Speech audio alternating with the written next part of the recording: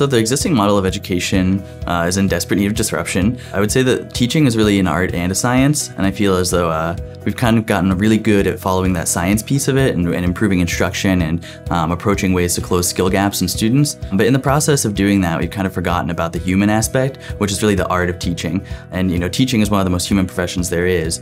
I think that uh, by focusing a little bit more on who we're serving, the needs of our community, and how we can fit their needs into our systems, that's the shift that needs to take place in order to you know, provide the innovation that will support the current needs of our students.